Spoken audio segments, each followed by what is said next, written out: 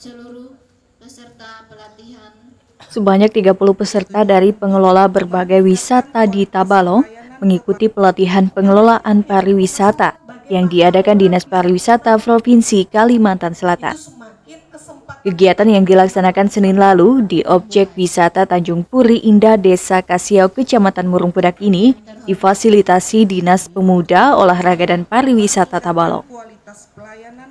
Pada pelatihan ini, peserta diajarkan tata kelola wisata, mulai dari pengelolaan homestay atau penginapan yang nyaman bagi wisatawan, pengelolaan fasilitas objek wisata seperti infrastruktur tempat wisata yang aman dan nyaman, kerajinan tangan sebagai oleh-oleh, serta kuliner sebagai tempat makan wisatawan.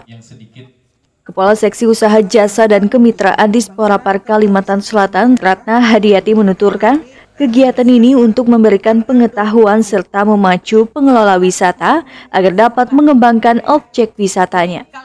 Misalnya ada ada sebuah pondok wisata atau homestay, nah di situ kan pasti ada rangkaian-rangkaian industri, misalnya kayak kerajinan, satunya ya mas ya penginapan. Nah harapan kita untuk memperluas uh, usaha pelaku industri pariwisata dan nantinya akan meningkatkan uh, pendapatan masyarakat. Nah, seperti itu mas maksud dan tujuan. Okay. Ratna menambahkan, salah satu fasilitas pendukung pariwisata ialah ketersediaan homestay atau tempat menginap bagi wisatawan.